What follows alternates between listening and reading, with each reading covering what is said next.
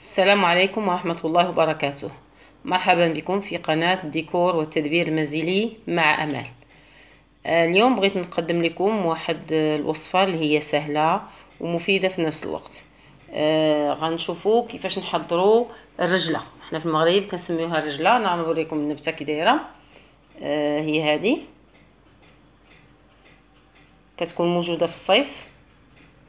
ثمنها رخيص حنا في المغرب كنظن درهم القبطة كتباع عند اللي كيبيعوا القزبر معدنوس آه، الاسم ديالها باللغة العربية هي البقلة والفرنسيه le pourpier هي آه، غنية جدا بفيتامين A اللي مفيد يعني النظر آه، فيها les oméga 3 اوميغا 3 أكثر من الحوت.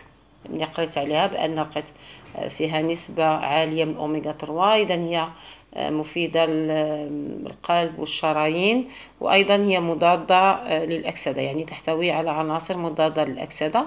ثمنها رخيص يعني أي واحد يقدر يستعملها. آه غنشوفوا هاد الوصفة. إذا خاصنا آه هاد الرجلة. أنا خديت هنا جوج قبطات. جوج قبطات تاع الرجلة.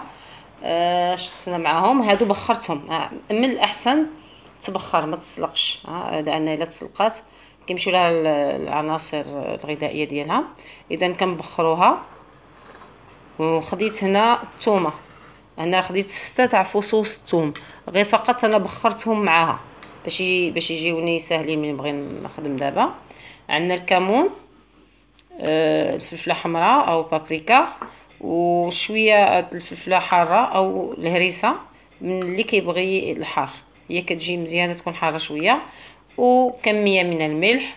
عندنا عصير آه، ليمون أو الحامض وبالطبع ولا بد من زيت الزيتون. إذا نشوفوا الطريقة مع بعضياتنا. غادي ناخذ آنية غنسخنوها. غنوضعوا فيها كمية من زيت الزيتون.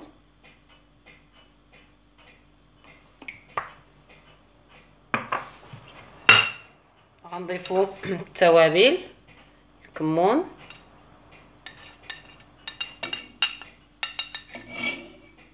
فلفلة حلوة أو كميرة.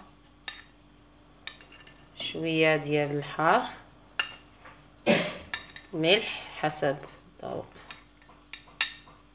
والثومه مباشرة ما خصنيش نخلي هاد غنقص خصني نخلي زيت زيتون يتحرق. غادي نخلط هاد العناصر يعني نعك الثومه لأنها راه مبخرة حتى هي. وغنضيف الرجلة.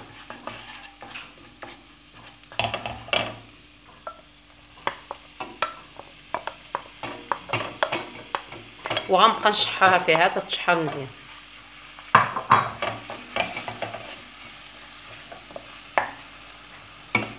هي كتوجد في الصيف قلنا كتكون موجودة يعني في, في الربيع كتكون الخبيزه أو البقولة وفي الصيف كتعوضها هاد الرجلة.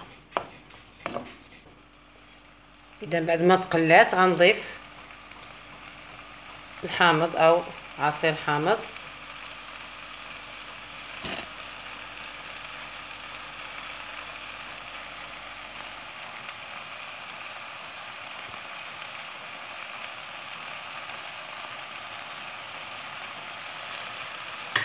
ونشحرها شوية.